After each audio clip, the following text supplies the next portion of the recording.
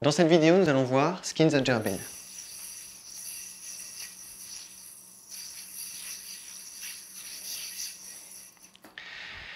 Skins the Gerbil, c'est vraiment un trick très intéressant.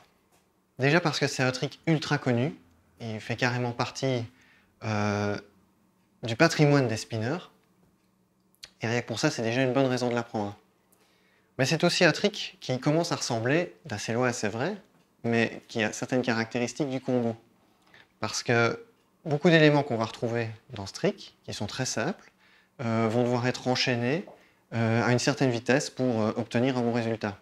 Donc on est déjà un petit peu dans une logique de combo. Et ça, ça va nous permettre de travailler justement l'enchaînement, la vitesse et la fluidité.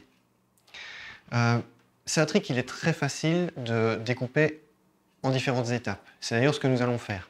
Mais par rapport à d'habitude, on ne va pas les numéroter, ces étapes. On va juste retenir euh, qu'entre chaque étape, on va passer par la position du trapèze. Et ça, c'est intéressant, parce que si vous effectuez un moment clé et que vous ne vous retrouvez pas dans la position du trapèze, ça veut dire que vous avez commis une erreur. Donc pas la peine de chercher pendant 20 minutes euh, pourquoi ça ne fonctionne pas.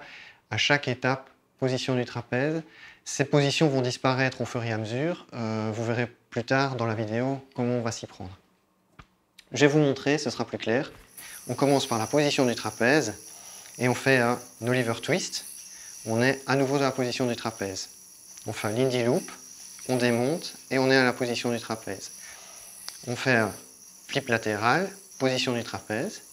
On fait un trapèze sur l'index de la main qui est attachée. On démonte, position du trapèze. On fait un Lindy Loop, mais avec un miss, c'est-à-dire qu'on va retirer la ficelle vers soi pour éviter que le yo-yo ne retombe dessus.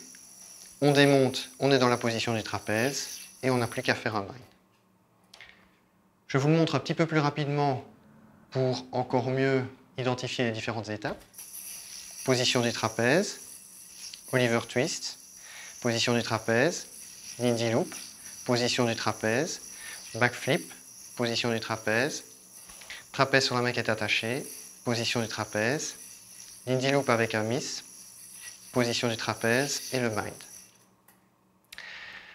Quand vous aurez réussi à mémoriser chaque étape et à faire le trick du début jusqu'à la fin, euh, ça va être le moment d'augmenter la vitesse et de travailler sur la fluidité. L'objectif, c'est de faire justement disparaître ces fameuses étapes euh, où on retrouve la position du trapèze, pour que ça donne quelque chose comme ceci.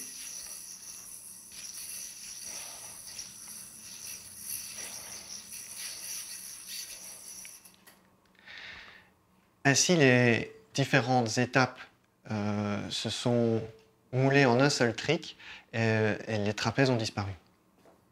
Et c'est le résultat que vous devez obtenir. Euh, pour toutes les raisons que je vous ai données au début de cette vidéo, c'est un trick qui vaut vraiment la peine d'être appris. En plus, il est intéressant à travailler. C'était Skin the Gerbil.